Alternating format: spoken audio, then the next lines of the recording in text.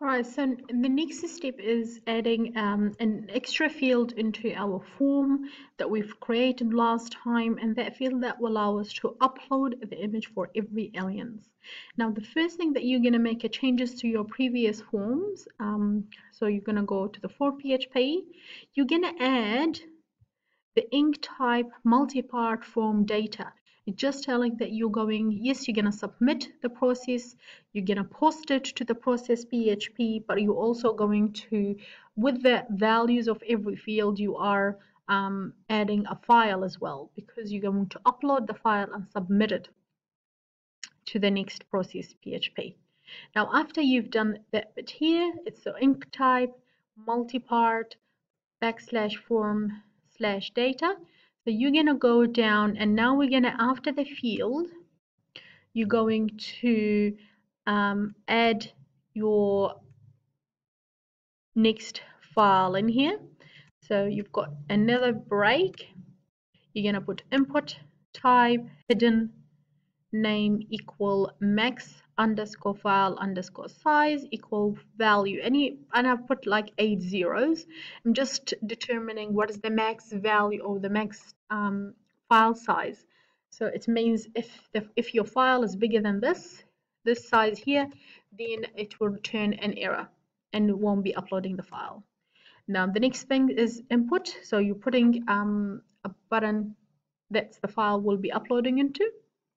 And then name equal user file. So I'm just naming it as a user file or it could be aliens file whatever you want to name it. And the type of that information that's going to be entered is a file so remember all the previous one were type just a text this one's a checkbox and this one is a file and then closing that break and then now remember the submit button we had at the end so you can change that submit button and I've just put a value I've written it into add new alien. So you can keep the same submit button or you can just change it into that same um, different value. That's what's going to be written on the button itself. Okay, now now I can um, save it and I can test it.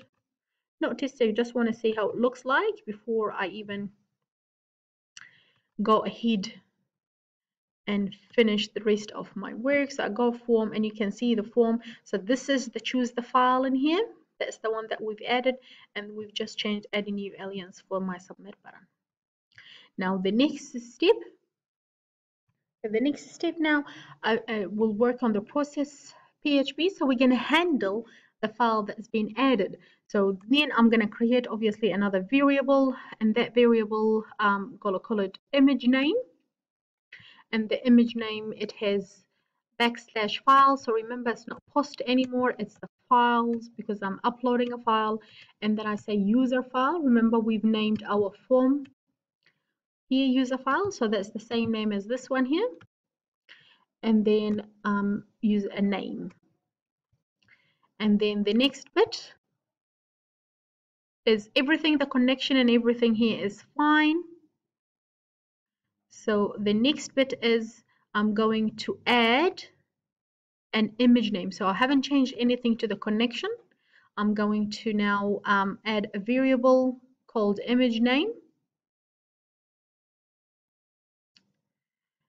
And then in that image name that I'm going to add same files, addslashes. Add lashes mean create an array of image names. Remember that we've saved in the in the database is going to be the going to be saved as sequence of binary codes. And those sequence of binary codes will be saved in array or a list. And then you, when you access it, you're going to access the whole array. Right, so that's what's going to happen. Remember, it's a close, it's a circular bracket, and here it's a square bracket. It's very important that you remember square brackets in here. And then after that, I've got the image. I've got a variable called image and the variable called image is the um, base 64 underscore encode.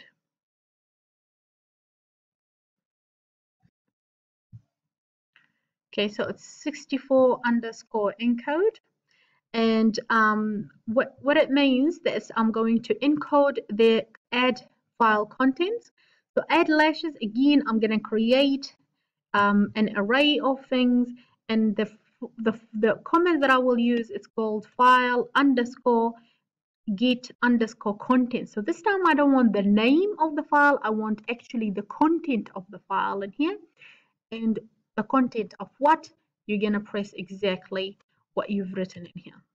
Okay, you can rechange that one here and using the image name variable that we're going to create it, that we've created earlier. And closing all the brackets. It's very, very important that you make sure that you're closing all those brackets.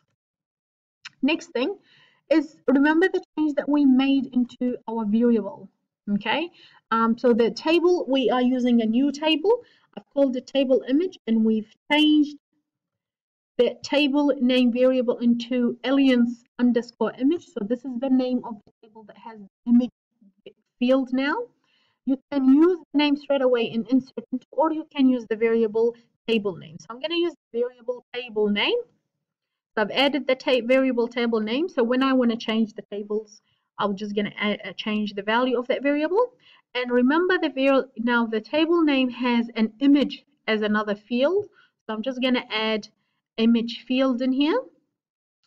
And then I'm going to add a value for that image. I'm going to add this one here, variable image, not the image name, variable image. And I've done the variable image. Now, if you've done that one here, all save it. And now let's test it. So there's the image file that we've created. So I'm gonna put Bob, gonna put um, circle, just random, sorry, circle, I've spelled it incorrectly. gonna put orange. I'm gonna put eyes three gonna put the mouth open gonna put arms five we got no ears. And then I'm gonna choose one of them. I don't know I'm just gonna choose circle orange. I'm just gonna choose this one here. And then I say add new file. And you can see that file is being connected. So you are connected and new alias being added. Now, if I want to check if the alien's been added correctly, was supposed to be, so you go to phpMyAdmin, you go to the database,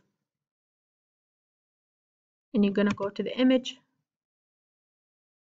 and you can see that's been added Bob, orange, circle 5, open 3, and you can see there is a photo now, and it's 33.2